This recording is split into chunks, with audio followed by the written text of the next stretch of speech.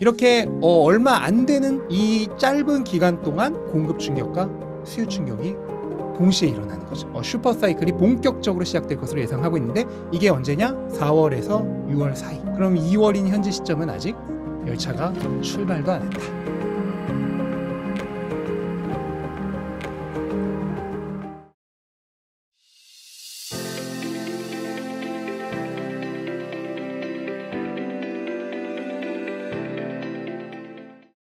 오늘은 비트코인 슈퍼사이클의 신민철 작가님을 모시고 이야기를 나눠보도록 하겠습니다. 작가님 안녕하세요. 네, 안녕하세요. 안녕하세요. 반갑습니다. 네, 작가님 이렇게 좀 급하게 라이브를 요청드리게 되었습니다. 그 책에서 네. 준비하라 비트코인 슈퍼사이클이라고 말씀을 해주셨는데 네. 어, 지금 비트코인 가격이 심상치가 않습니다. 어, 네네네. 네, 슈퍼사이클이 시작된 것일까요? 진짜로? 아, 네. 뭐 슈퍼 사이클이 오는 거는 뭐 거의 기정사실이고요. 이제 오더라도 언제부터 본격적으로 시작되느냐. 이제 그 문제라고 할 수 있는데요. 어, 아직까지도 저는 어, 본격적인 시작은 아직 시작도 하지 않았다 라고 어, 어, 생각을 하고 있어요. 어, 지금 음, 슈퍼 사이클이라고 하는 거는 원래 기본적으로 어느 한 가지 사이클이 아니라 여러 가지 사이클들이 복합적으로, 그러니까 여러 가지 상승 사이클이 복합적으로 작용을 해서 나타나는 게 슈퍼 사이클이거든요. 그래서 이 슈퍼 사이클의 가장 어, 기본적인 조건은 비트코인의 공급량이 절반으로 줄어드는 공급량 반감기. 이걸로 인해서 공급 충격이 먼저 일어나고요. 그 다음에 금리가 인하되면서 유동성이 확장되죠. 그 유동성 음. 확장, 즉 돈풀기로 인해서 수요가 상승하는 이 두 가지가 겹쳐지면서 일어나는 게 이제 기본적인 슈퍼 사이클입니다.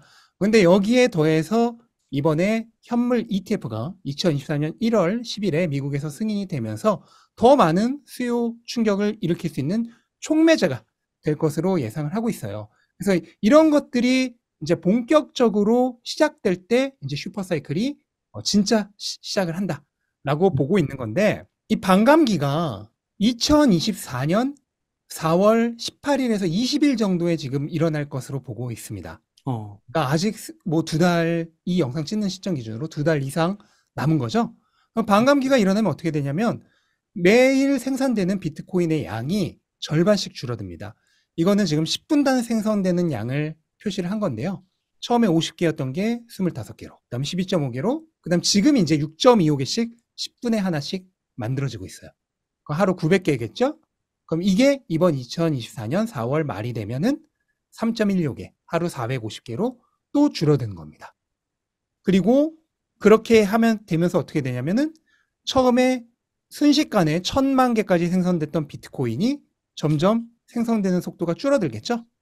그리고 지금 그렇죠. 2024년 여기에요, 지금 우리가 있는 시점이. 요 시점 기준으로 한 1950에서 2000만 개 사이 어, 있는데 최대 생산량이 2100만 개입니다. 네. 그러니까 이미 최대 생산량에 거의 근접하게 생산이 된 거고 점점 점점 점점 더 더 적은 양의 비트코인이 만들어지게 돼요.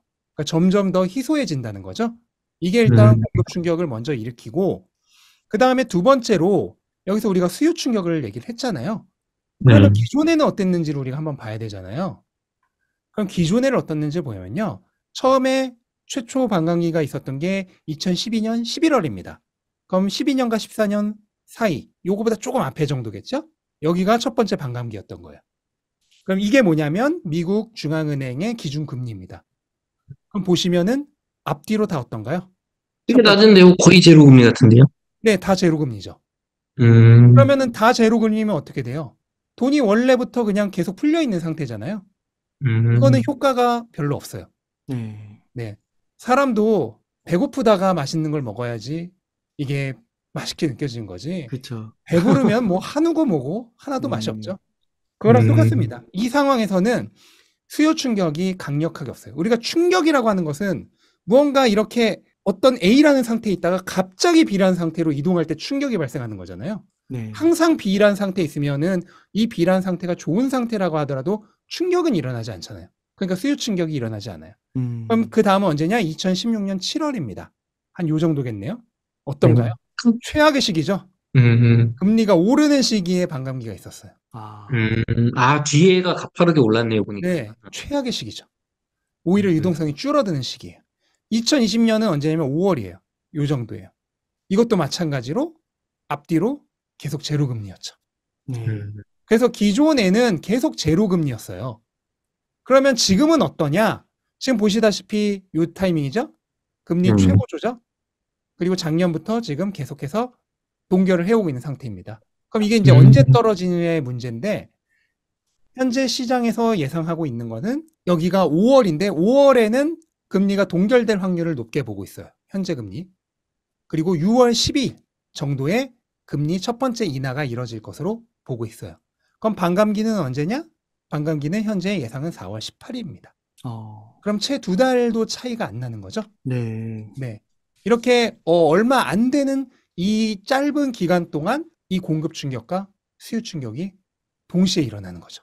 음. 그러면서 어, 슈퍼 사이클이 본격적으로 시작될 것으로 예상하고 있는데 이게 언제냐? 4월에서 6월 사이. 어, 그럼 2월인 현재 시점은 아직 열차가 출발도 안 했다. 어, 출발도 안 했다. 출발도 안 했다. 아, 라고 보시면 되겠습니다. 네. 그러면요, 작가님, 그 비트코인 가격이, 네. 와, 지금 보니까 5만 1,000원이 넘었어요. 벌써 그렇게 음. 됐나요? 예, 거의 어. 이제 7천만 원인데요. 어, 진짜요? 예. 이렇게까지 이제 폭등한 이유도, 뭐, 네. 지금 이렇게 말씀해 주시는 뭐 요인들이 뭐 선반영되고 뭐 이런 걸까요? 그것도 있을겠지만 네. 결정적으로는 요겁니다. 예. 현물 ETF. 제가 아. 여기 뭐라고 썼나요? 이 대규모 채택이란 건 뭐냐면 기존에 비트코인을 투자하고 싶었어도 투자하지 못했던 각종 기관이나 연금이나 음. 그다음에 뭐 기업들 이런 데들이 현물 ETF를 통해서 그냥 주식시장에서 주식 사듯이 손쉽게 투자하는 것이 가능해진 거예요. 그러면서 어떤 일이 일어났냐면 이게 지금 최초 한 달 동안 이걸 제가 좀 더 키워볼게요. 더 잘 보이시죠? 근데 뭐 자세히 보실 필요는 없어요. 최초 한 달 동안 비트코인으로 비트코인 현물 ETF로 그 유입된 자금과 비트코인 양을 보여주는 표거든요. 근데 여기 음. 보시면은 한 최초 한 달간 유입된 비트코인이 약 6만 8천 개입니다. 뭐 잘 안 보이시겠지만 제가 더 키워드릴까요? 어, 잘 안 보이시긴 하겠다. 예, 이렇게 하면 6만 8천 개. 예. 가 음. 유입이 됐어요. 그럼 이게 어느 정도의 양이냐고 하냐면 한 달 동안 평균적으로 매일 3천 개씩 하루에 음. 3천 개씩 비트코인이 유입이 현물 ETF로 현물 ETF가 비트코인을 사간 거예요. 네. 근데 제가 앞에서 하루에 몇 개 생성된다고 했나요, 지금? 900개의 비트코인만이 새로 생산이 되는데 하루에 3,000개를 얘네가 이제 진공청소기처럼 비트코인을 빨아가요. 와. 거기다가 이게 끝이 아니라 가장 최근에는요, 비트코인 가격이 많이 올랐을 때는 지금 3일 동안에만 15억 달러. 3일 동안에만 어느 정도냐면 하루에 거의 만 개씩. 아, 진짜요? 네, 하루에 만 개씩. 하루에 와. 지금 900개가 생산되는데 하루에 만 개씩. 와. 그러면 10배 이상이죠? 네. 를 진공청소기처럼 흡입해 갔어요. 그럼 이게 어느 정도의 양이냐면 하루에 그냥 평균적으로 3,000개라고 하더라도 1년이면 얼마인가요? 하루 3,000개면은. 1년이면은 거의 10만 개? 아니죠. 하루 3,000개면은 한 달이면은 9만 개잖아요. 어, 9만 개. 그럼 한 달이면 9만 개면은 12달이니까 거의 아, 100만 100만 개죠. 개. 예. 거의 100만 개. 와. 그런데 2024년 동안 생산될 수 있는 총 비트코인이 지금 900개씩 4월까지 10만 8천 개 정도. 그 다음에 음. 4월에 반감기 때죠? 절반으로 줄어요. 이걸로 남은 기간 8달 생산하면 10만 8천 개. 그래서 2024년 전체에 생산할 수 있는 비트코인이 21만 6천 개밖에 안 돼요. 어, 그래요. 근데 현물 ETF에서만 이 거의 다섯 배를 가져갈 수 있는 거예요. 그러네요. 근데 얘네만 당연한 얘기지만 얘네만 비트코인 사는 게 아니잖아요. 그냥 우리 같은 사람들도 살 거 아니에요. 그렇죠. 홍달님도 사시고 덕현님도 사실 거 아니에요. 네. 그러면은 얘네만 이렇게 가져가는데 당연히 다른 사람들도 더 사면은 어, 뭐가 일어날 수밖에 없나요? 공급 충격, 수요 충격. 네. 거기다 이 현물 ETF가 촉매제로 작용하면서 뭐다? 슈퍼사이클이다. 아. 네. 그게 올려는 조짐이 이제 지금부터 벌써 보이기 시작하고 있는 거죠. 네. 그러니까 이번이 네 번째 반감기 사이클이고 네. 앞서서 세 번이 있었는데 그것보다 어떻게 보면 더 큰 사이클이기 때문에 슈퍼라고 붙이신 건가요? 그렇죠. 기존에는 그냥 사이클. 그냥 사이클. 이번에는 이제 TOP 같은.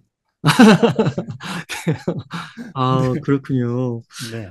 그러면요, 작가님, 이 5만 불이 또 많은 분들이 좀 의미부여를 하시는 것 같은데, 음. 작가님도 이 5만 불을 뚫었다는 것에 대해서, 네. 아, 이거는 뭔가 의미가 있다, 이렇게 보시나요? 네, 어, 5만 볼이 이게 중요한 이유가 화면을 다른 거를 공유를 해드리면은 이게 이제 비트코인 차트 잘 보이시죠?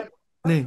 네. 우리가 지난번에 현물 ETF가 승인될 때 가격이 대략 4만 9천 달러를 좀 넘었었어요. 근데 그 다음에 뉴스에 팔아라가 나오면서 가격이 3만 아. 달러대까지 갔었거든요. 네. 그랬다가 지금 가격이 다시 돌아온 거예요. 그래서 이 가격이 어떤 의미를 가지냐면 우선은 이 4만 9천 달러의 직전 고점을 완전히 뚫어낸 거다. 그러니까 음, 살짝 뚫었으면은 뭐 49,500달러 이러면은 아직은 완전히 뚫었다고 보기 어렵거든요. 근데 앞자리가 바뀌면서 5만이라고 숫자를 완전히 뚫어버렸기 때문에 일단 직전 고점을 완전히 뚫은 거고요. 아, 그다음 두 번째로 일단 숫자가 오- 앞자리가 바뀌는 거는 그 자체로 상징적인 의미가 있어요. 거기다가 추가적으로 이 매번 반감기 때마다 가장 중요했던 분기점이 어디냐면은 우리가 피보나치 되돌림의 골든존이라고 부르는 지점이 있어요. 그게 뭐냐면 61.8% 부분입니다. 어, 요 부분이 이제 하락을 끝내고 다시 전고점을 향해 돌아갈 때, 그러니까 가격이 복귀할 때 진짜 어 가격이 완전히 상승 추세를 탔느냐를 판가름하는 분기점으로 작용하는 곳이에요. 근데 여기가 보시면은 지난번에 딱 여기서 저항을 받은 거죠. 아, 야, 했다가 내려갔다가 다시 여기를 뚫은 거예요. 와, 근데 이게 뭐 4만 9천 몇백 달러 이러면 의미가 별로 없어요. 근데 앞자리가 음. 5만으로 바뀌면서 뚫었기 때문에 이게 의미가 있는 거죠. 음, 이게 실제로 그러면 의미가 있는 건지 확인을 해볼까요? 이건 지난 사이클이에요. 음, 여기가 이제 지난 사이클이거든요. 3차 사이클. 이때도 보시면은, 네, 여기가 그 61.8% 지점이에요. 음, 보시면은 다 저항 맞고 내려간 거 알 수 있죠? 세 번. 어, 그러네요. 음.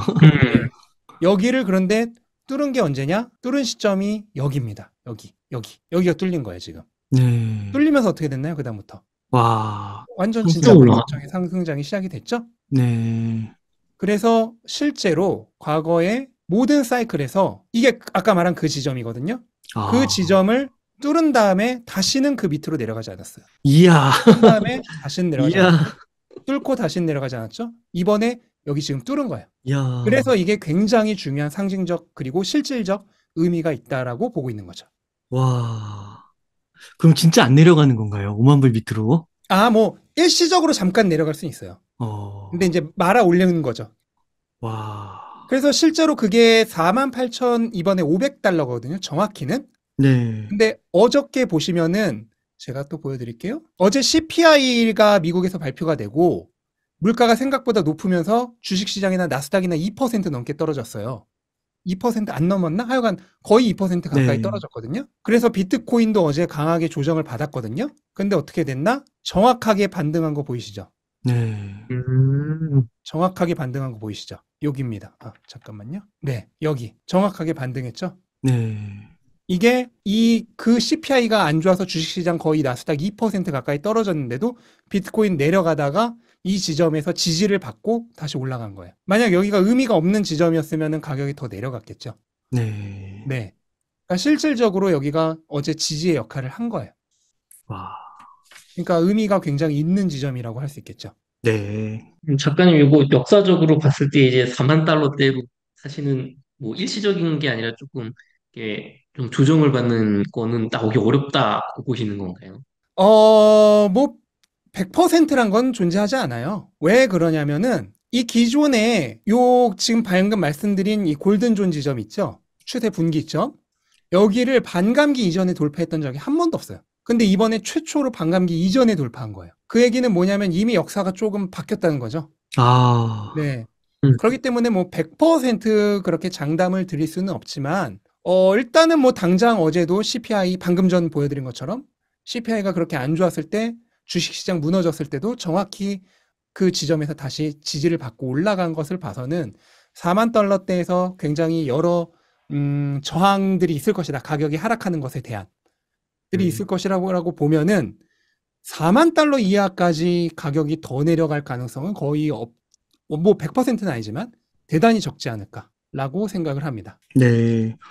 와, 그럼 작가님 이게 이제 가격이 7천만 원이에요. 음, 이게 가격이 너무, 노- 너무 많이 올라가지고 네. 비트코인 투자 이제 너무 늦은 건 아닌가 이런 생각이 드는데 어떠신가요?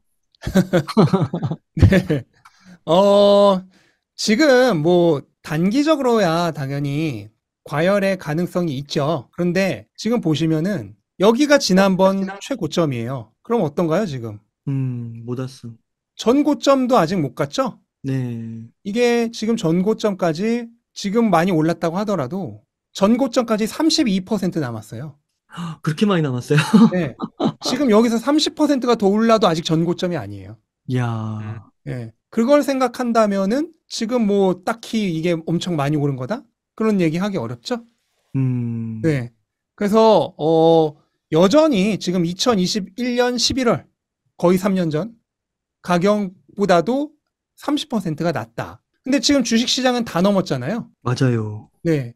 맞아요. 지금 다우도 넘었고, S&P도 지금 이게 전고점인데 넘었죠? 나스닥도 이제 멀지 않았어요. 거의, 거의 갔다가 잠깐, 맞아요. 어제 CPI 안 좋아서 잠깐 내렸어요. 넘을, 넘을 것 같아요, 네, 나스닥은. 곧, 곧 넘죠. 네. 왜냐면 음, 다우 넘고 S&P 넘고 그다음 나스닥이에요. 네. 지난 지난 시즌에 지난 하락장에서 이거 하락장이죠. 하락장에서 상승 추세로 돌파할 때도 다우가 제일 먼저 돌파했고요. 그 다음에 나스닥이 그 다음 뒤이어서 돌파했죠. 네. 아 S&P가. S&P 500. 네. 그 다음이 마지막으로 돌파한 게 누구냐? 마지막으로 돌파한 게 나스닥이에요. 음, 그러니까 다우, S&P, 나스닥 순으로 상승 추세로 전환된 거예요. 그 다음에 신고가도 마찬가지로 다우가 제일 먼저 찍었어요. 그 다음에 S&P였어요. 어, 그 다음에 이제 나스닥이 코앞까지 온 거죠. 네. 그러면은 그 다음은 누구겠어요? 가장 그 상대적으로 변동성이 낮은 다우부터 해서 나스닥보다도 변동성이 더 큰 게 비트코인이잖아요. 그렇죠. 네. 그럼 비트코인까지 이제 차례가 전 차례대로 이렇게 오는 거죠. 음, 그래서 그거를 생각한다면은 뭐 아직 멀었고 음, 그 다음에 비트코인은 원래부터가요. 항상 전고점을 돌파한 이후부터가 진짜 불장이었습니다. 보시면은 이것도 전고점이죠? 여기 돌파한 이후부터가 진짜 불장. 전고점을 돌파한 이후부터가 진짜 불장. 그 다음에 지금 이제 한 여기까지 와 있는 거예요. 아, 아직, 아직 멀었죠? 이제 여기죠? 10% 네. 남았죠. 여기죠. 네. 30% 남았으니까. 32%.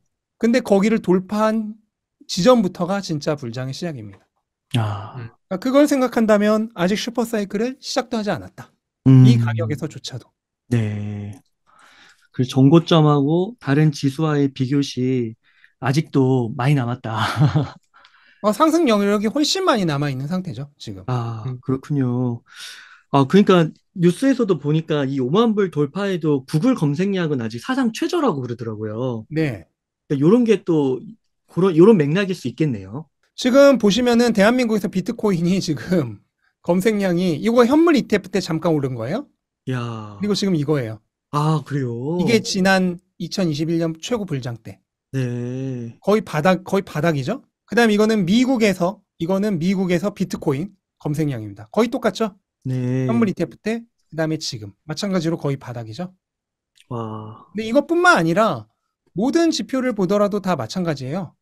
보시면은 이게 유튜브에서 비트코인으로 검색한 다음에 본 시청 그 시간이거든요. 시청 수- 조회수거든요. 근데 음, 지난 사이클 고점대가 요, 여기에 있고 와. 지금은 요거예요. 야, 이런 낮죠? 것도 있구나.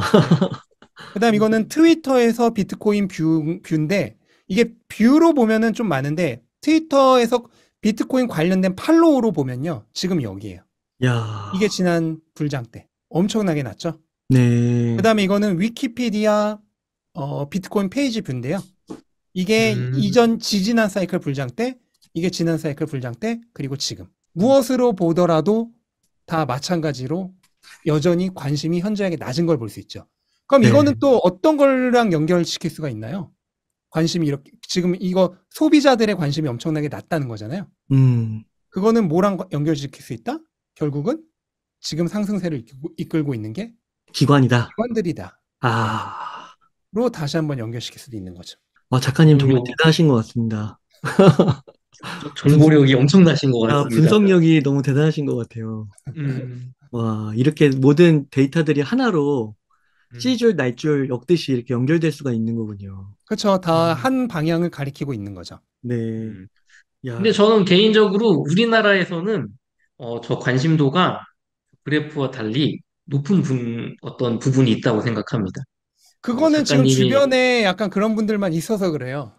아니요, 그 작가님의 비트코인 슈퍼사이클이 네. 교보문고 경제경영 베스트 5위에 올랐거든요. 아, 제가 어, 알기로는 아. 비트코인 관련 책이 지금 베스트셀러에 오른 적이 언제인지 기억이 안날 아. 정도예요. 그러니까 이게 제가 볼 때는 이미 우리나라에서 이 물밑에서 아, 신민철 작가님 이 책을 보고 내가 지금 공부해야겠다. 이게 지금 있다고 봅니다. 아, 네. 책이 안 팔려야 되는데요.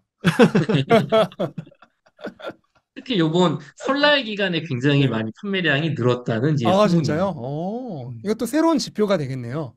음, 네. 그쵸. 서점 지표. 음, 어. 맞아요. 서점 지표.